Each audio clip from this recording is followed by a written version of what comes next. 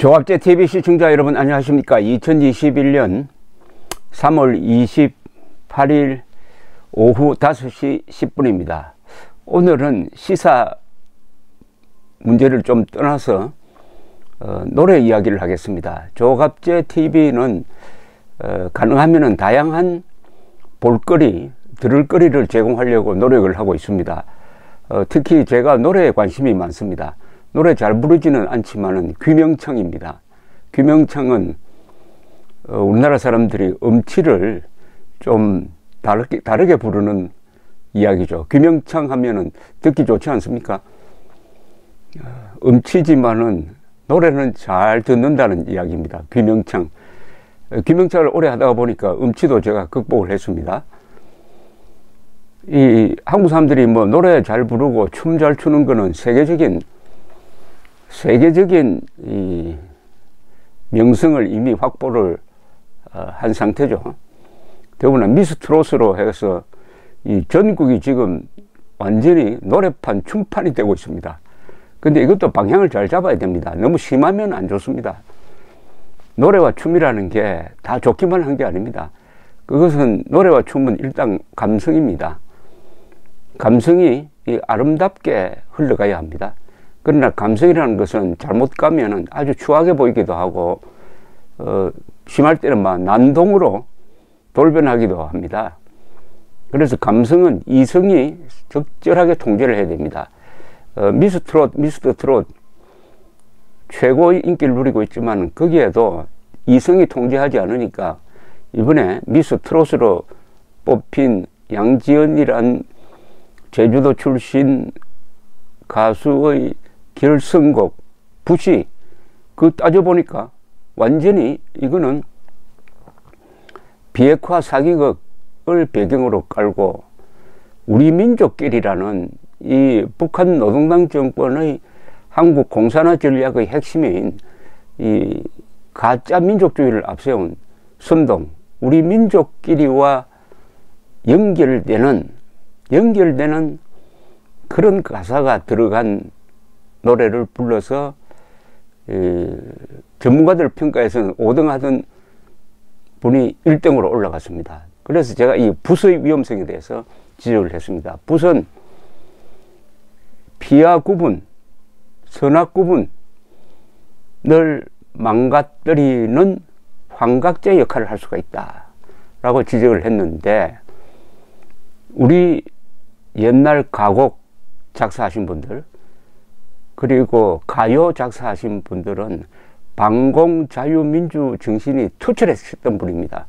그렇다고 그것을 촌스럽게 아주 그 뭡니까 어, 예술적으로 아니라 너무 투박하게 내세우는 그런 삼류 사류 작사 작곡가가 아니었습니다.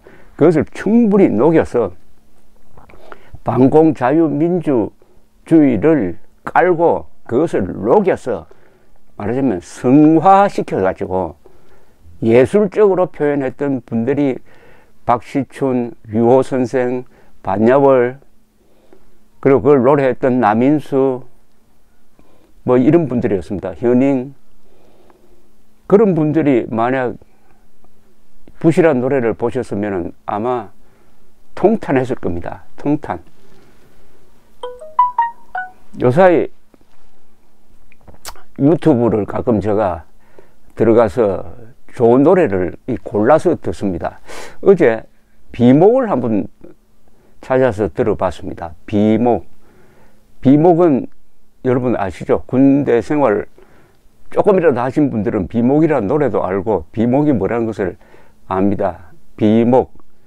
글자 그대로 비석비자에 나무 목자니까 십자가를 만들어 가지고 군인의 그 무덤에 꽂아 놓는 그 비목이죠. 비목.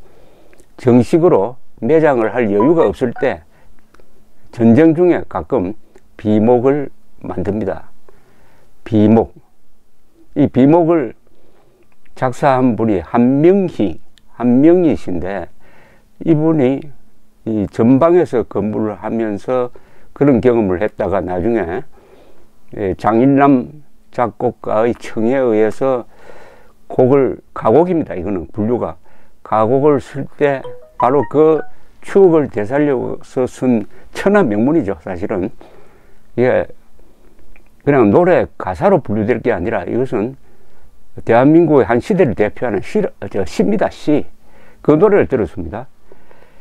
여러 사람이 불렀는데 제가 어제 들은 노래는 조수미 씨의 비목, 이미자 씨가 부른 비목이 있습니다. 그리고 신영옥 씨의 비목을 들었는데 다 특징이 있습니다.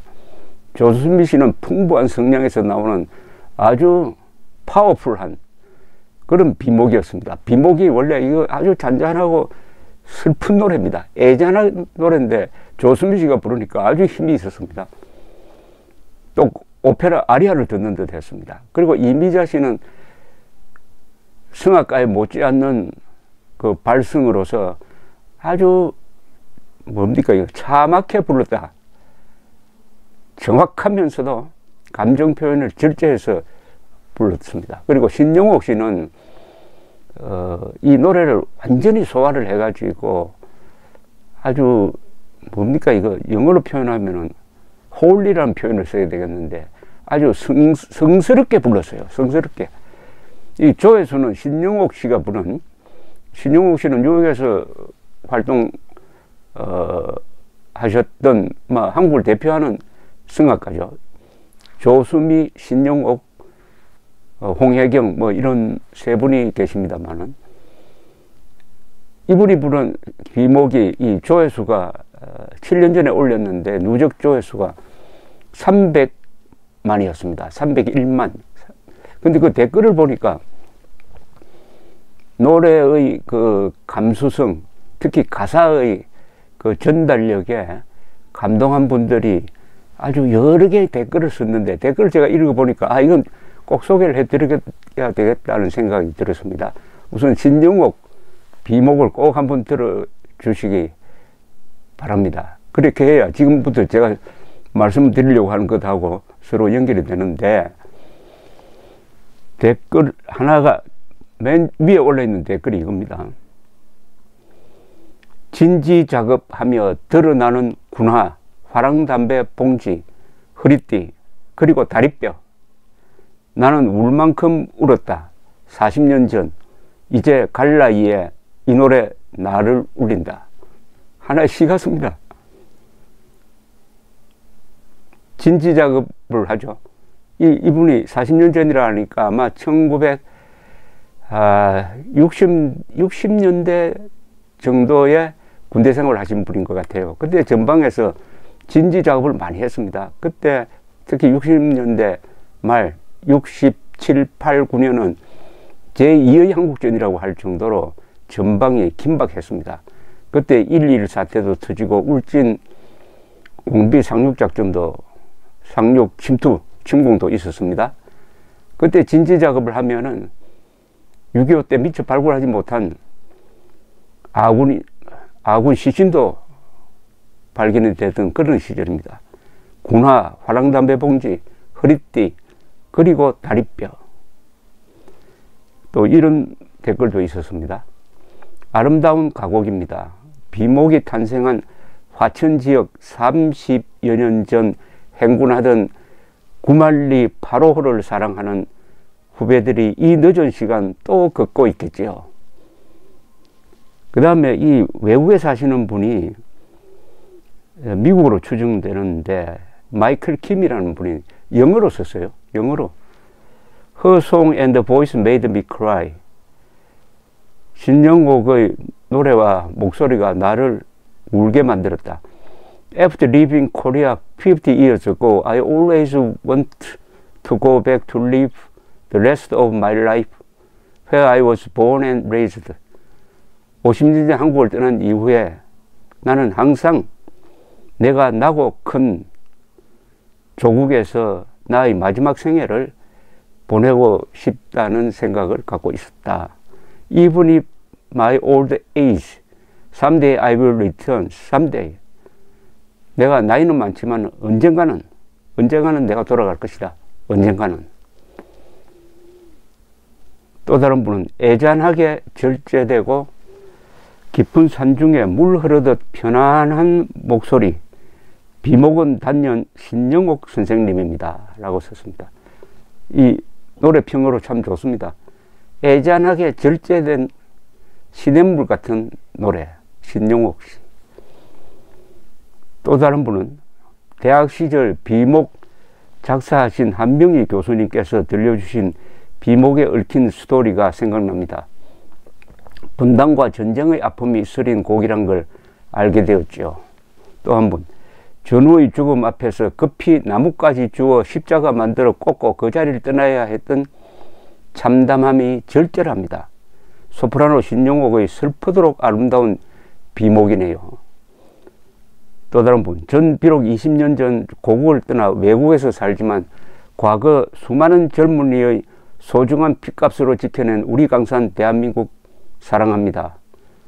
또 한 분, 외국에서 들으니 더 좋습니다.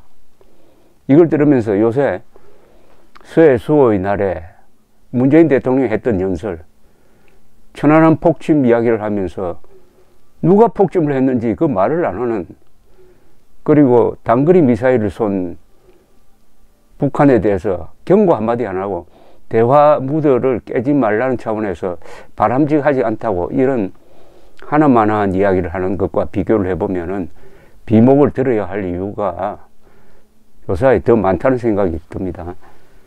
이 비목 작사가 한명희 씨는 1939년 충청북도 충주에서 태어났습니다. 어, 1960대 중반 비무장지대 에, 전투 초소에서 소대장으로 근무하였고 어, 학군단 출신입니다. 어느 날 강원도 화천 배감사 부근에서 잡초 우거진 양지 바른 산모통이를 지나며 십자나무만 세워진 무명용사의 돌무덤을 보고 영감을 얻었다가 그 후 TBC 방송국 프로듀스 공채 3기로 입사하여 주간 라디오 프로그램 가곡의 언덕, 일일 프로그램 가곡의 오솔길 등 가곡을 소개하는 음악 프로그램 진행을 막, 막, 맡았을 때 작곡가 장, 장일남 선생으로부터 신작 가곡을 위한 가사를 의뢰, 의뢰 받아서 그 비목의 기억을, 기억을 떠올려가지고 조국을 위해 죽어간 젊은이들을 기리는 내용의 시를 지었고 장일남이 곡을 붙였다. 이렇게 민족문화 대백과 사전까지 올라 있습니다. 이 가사는 뭐 너무나 잘 아시지만은 가사만 제가 읽어드리겠습니다. 초연이 쓸고 간 깊은 계곡, 깊은 계곡 양진역에 비바람 긴 세월로 이름 모를, 이름 모를 비목이여. 먼 고향 초동 친구 두고 온 하늘가 그리워 마디마디 잊기 되어 맺혔네. 여기서 초연은 이 화약 연기를 말합니다. 초연이 쓸고 갔다는 것은 전투를 하고 그 포탄에서 초, 그리고 총탄에서 터진 연기가 자욱한 그 전선을 이야, 이야기하고 있습니다. 초동 친구는 이 초동은 한자로 어, 쓰면은 이 뗄감을 뗄감을 구하는 어, 소년이란 뜻이죠. 소년, 초동 친구. 이절은 이렇습니다. 국로로 산울림 달빛하고 달빛하고 흐르는 밤 홀로 선 적막감에 울어지친 울어지친 비목이여 그 옛날 천진설은 추억은 애달퍼 서러움 알랄이 돌이 되어 쌓였네. 좋은 가사는 다 마찬가지지만 눈에 선합니다. 그림이 그려집니다. 좋은 가사는 이미지네이션이 되는 가사가 좋은 가사죠. 그러니까 그 노래를 부르는 순간 그림을 보는 것 같고 그리고 그 선율과 어울려 가지고 입체성을 더하는 게 좋은 가사인데 이게 바로 참 좋은 가사고 뭐 우리 가곡 중에서 또는 가요 중에서 유명한 노래들은 다 그렇습니다. 특히 가곡은 한국의 아주 문화적 자산인데 요사이 국민 가곡이 잘 나오지 않아서 좀 안타깝습니다. 가곡은 시와 음악의 만남이죠. 시와 음악의 만남. 어, 가요도 좋지만 가곡은 저는 더 좋다는 생각이 듭니다. 가, 곡 그리운 금강산, 가고파, 뭐 주옥, 수선화 등등 주옥과 같은 그 가곡에 들어가는 비목입니다. 이 화천 비목 문화재가 있다고 합니다. 화천에서 이 비목의 배경이 되는 문화재를 만들어 이 문화재 문화재를 만들어서 행사를 한다고 하니까 이 노래 하나가 참 많은 이 문화 현상을 연달아 일으키고 있습니다. 이 가, 가요, 지금부터 가요 이야기를 좀 하겠는데, 이 가요 중에서 이 작사가들의 역할이 참 큽니다. 우리는 흔히 가수를 더 유명하게 생각하고, 그 다음에 작곡가, 작사가 이런 순위인데, 사실은 작사가 더 중요합니다. 작곡하신 분들 말씀 들으니까 좋은 가사를 받아보면 순간적으로 거기에 멜로디가 떠오른다고 합니다. 그래서 바로 순간적으로 작곡한 노래가 히트를 하는 경우가 많다고 그러더라고요. 좋은 가곡이나 좋은 가사가, 좋은 가요가 안 보인다는 것은 좋은 가사, 좋은 작사가들이 좀 활동을 부실하게 한다는 그런 뜻도 되겠습니다. 저는 자유를 지킨 노래들이라는 표현을 쓰면서 이 반공 자유민주 정신을 이 가요에 담았던 사람들을 소중하게 소중하게 언급을 합니다. 이런 가사 유호 선생이 작사한 진짜 사나이. 사나이로 태어나서 할 일도 많다만 너와 나 나라 지키는 영광에 살았다. 박춘석 작곡 38선의 밤. 꽃피면 더욱 슬퍼 38선의 봄. 죽음에 시달리는 북녘 내 고향. 그 동포 웃는 얼굴 보고 싶구나. 이거는 북한 인권의 날에 불러야 할 노래 아니겠습니까? 이 박충석 선생이 가요 무대에 나와서 인터뷰를, 생전에 인터뷰를 했을 때 김동훈 아나운서가 물었습니다. 돌아가시면은 노래비를 세워야 되겠는데 어느 노래를 할까요? 하니까 스스없이 그 수많은 노래를 작곡하신 분이 스스없이 38선의 봄이라고 했습니다. 38선의 봄을 새긴, 가사를 새긴 노래비를 그 38선이 보이는데 좀 세워달라고 하던 기억이 납니다. 맹어들은 간다라는 가요가 있습니다. 1960년대 월남 파병 시절이죠. 이 대목을 저는 매우 자주 인용을 합니다. 자유통일 위해서 길러온 힘이기에 조국의 이름으로 어딘들 못 가릴까. 60년대 국력이 없을 때도 자유통일 기회만 잡으면 우리가 간다. 라고 했는데 지금 60년대보다 엄청난 국력을 기른 이 대한민국이 자유통일이란 말을 부끄러워서 못 꺼내고 있습니다. 왜 부끄럽습니까? 자유통일이라는 말을 하면 누가 욕합니까? 그래서 힘이 없는 평화통일만 이야기하고 있습니다. 자유통일을 이야기해야 북한 동포를 구출할 수 있을 것 아닙니까? 자유통일을 위해서 길러온 힘이기에 조국의 이름으로 어딘들 못 가릴까? 유교의 노래는 뭐 요사이는 아는 사람이 거의 없죠. 우리 세대는 다 외웠죠. 맷도적 오랑캐를 하늘의 힘을 빌어 모조리 쳐부수어 흘려온 값진 피의 원한을 부르리. 이것은 당대 최고 시인이신 박두진 선생이 작사하고 작곡도 최고의 작곡가 김동진 선생의 작곡입니다. 그러니까 유교의 노래가 이렇게 명곡이 될 수 있었습니다. 오곡백과 풍성한 금수강산 옥토낙원 완전 통일을 이루어 영원한 자유평화 조국창가 김동진 작곡 이런 느낌으로 부서의 양지연 씨가 부른 부서의 가사를 한번 읽으면은 들으면은 어떤 생각이 드십니까? 이런 대목 70년 세월 그까짓 게 무슨 대수요 함께 산 건 5천년인데 잊어버리자 다 용서하자 우린 함께 살아야 한다 백두산 천지를 먹물 삼아 한 줄 한 줄 적어 나가세 여보게 친구여 붓을 하나 줄 수 있겠나 붓을 하나 줄 수 있겠나 이 노래는 선악 구분이 없습니다. 나쁘고 좋다. 그리고 적과 동지의 구분이 없습니다. 민족 반역자 김정은이 저지른 온갖 범죄 다 잊어버리고 용서하자. 같이 살자. 한 걸음 더 나가서 백두산을 먹물로 뭘 쓰자. 그러니까 백두산 김일성 중심으로 역사를 쓰자. 이거 아닙니까? 이른바 우리 민족끼리 선동이죠. 이걸 부른 가수가 미스트롯 진이 되었다. 가수는 기술자가 아닙니다. 가수는 저 노래방 기계가 아닙니다. 가수는 철학이 있어야 됩니다. 특히 유명한 가수일수록 이것은 TV조선의 큰 실수입니다.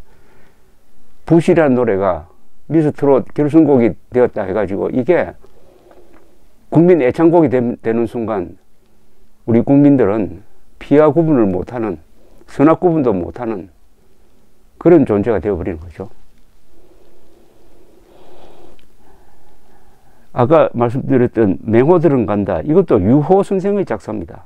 자유통을 위해서 조국을 지키시다로 시작되는 유호 선생 시나리오, 시나리오도 쓰신 그리고 전우여 잘 자라를 쓰신 유호 선생 이희목 작곡 유호 선생 반야월 박시춘 박춘석 김희갑 배경호 김동진 선생 말할 것도 없고 정말 고마운 분들입니다.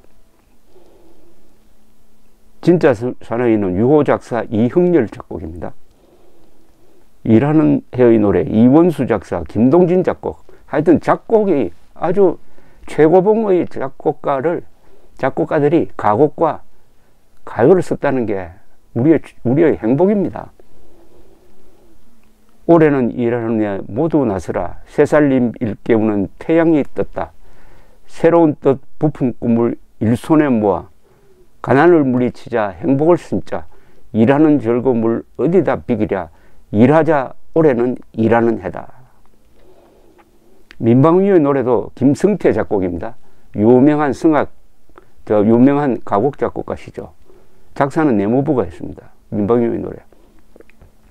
조국의 부름받아 일어선 우리 침략 막고 재난 막는 향토의 방패 나라 위에 바친 몸 다시 바치랴 민방위 깃발 아래 굳게 굳게 뭉쳤다. 내 마을 내 직장은 내가 지키고 내 조국 내 민족은 내가 지킨다. 민방위 훈련할 때 이 노래 요새 부르는지 모르겠네요. 새마을 노래 박정희 작사 작곡 새벽종이 울렸네 새 아침이 밝았네 너도 나도 일어나 새마을을 가꾸세 나의 조국은 박정희 작사 작곡입니다. 이건 정중한 군가죠. 백두산의 푸른 전기 이 땅을 수호하고 한라산의 높은 기상 이 결에 지켜왔네. 삼국통일 이룩한 화랑의 옛 정신을 오늘에 이어받아 새마을 정신으로 영광된 새조국의 새 역사 창조하여 영원토록 후손에게 유산으로 물려주세. 향토 예분의 노래는 전우 작사 이희목 작곡 어제의 용사들이 다시 뭉쳤다. 직장마다 피가 끓어 드높은 사기 총을 들고 건설하며 보람에 산다. 조국 창가는 양명문 작사 김동진 작곡입니다. 동방의 아름다운 대한민국 나의 조국 반만년 역사 위에 찬란하다 우리 문화 오국백과 풍성한 금수 공, 금수강산 옥토나곤 완전 통일 이루어 영원한 자유평화 태극기 휘날리며 벅차게 노래 불러 자유대한 나의 조국 길이 빈대리라. 6.25의 노래. 아 이절야 6.25 노래는 박두진 작사 김동진 작곡입니다. 아 이절야 어찌 우리 이날을 조국을 원수들이 짓밟아 오던 날을 맨주먹 붉은 피로 원수를 막아내어 발을 굴러 땅을 치며 의분에 떤 날을 이제야 갚으리. 그날의 원수를 쫓기는 적의 물이 쫓고 또 쫓아 원수의 하나까지 쳐서 무찔러 이제야 빛내리 이 나라 이결에 원수를 갚아야 됩니다. 전우의 줄자라 박치춘 작곡 유호 작사 이 노래는 4절까지 있습니다. 4절 터지는 포탄을 무릅쓰고 앞으로 앞으로 우리들이 가는 곳에 38선 무너진다. 흙이 묻은 철갑모를 손으로 어루만지니 떠오른다 내 얼굴이 꽃같이 별같이 38선의 봄 최갑석 노래 박춘석 작곡 김석민 작사입니다. 눈 녹인 산골짜기에 꽃이 피누나 철조망은 녹슬고 총칼은 빛나 세월을 한탄하랴 38선의 봄 싸워서 공을 세워 대장도 실소 이등병 목숨 바쳐 고향 차절이 눈 녹인 산골짜기에 꽃이 피는데 설한에 젖은 마음 풀릴 길 없고 꽃 피면 더욱 슬퍼 38선의 봄 죽음에 시달리는 북녘 내 고향 그 동포 웃는 얼굴 보고 싶구나 전선야곡 천하의 명곡이죠 박시춘 작곡 역시 여기 또 유호 선생이 등장합니다. 유호 작사. 지난 미스트롯 그 경연을 쭉 보니까, 어, 한 분 딱 전선 야곡을 부르는 세 분이 모여가지고 그룹으로 전선 야곡을 한번 불렀습니다. 가랑잎이 휘달리는 전선의 달밤, 소리 없이 내리는 이슬도 차가운데, 단잠을 못 이루고 돌아 눕는 귓가에 장부의 길을 일러주신 어머님의 목소리, 아, 그 목소리 그리워. 들려오는 총소리를 자장가 삼아 꿈길 속에 달려간 내 고향 내 집에는 정한수 떠놓고서 이 아들의 공비는 어머님의 흰머리가 눈부시어 울었소. 아, 서로 안고 싶어서. 이건 단순하게 감상만 있는 거 아닙니다. 정한수 떠놓고서 이 아들의 안전을 비는 게 아니라 이 아들의 공을 빈다는 겁니다. 공을 세우라는 겁니다. 나라를 위해서 애국심이 애국심. 요사이 문재인 정권 하는 거 보면은 애국심이 아니라 애북심이 애북심이 충, 충일한 것 같아요. 애북심, 북적북적.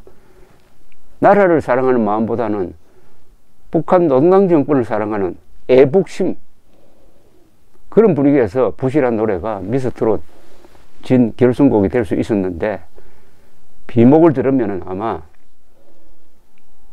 여러분들의 마음이 아주 편안해지실 거라고 생각합니다. 애잔한 마음은 사람들의 마음을 정화시켜 줍니다. 감사합니다.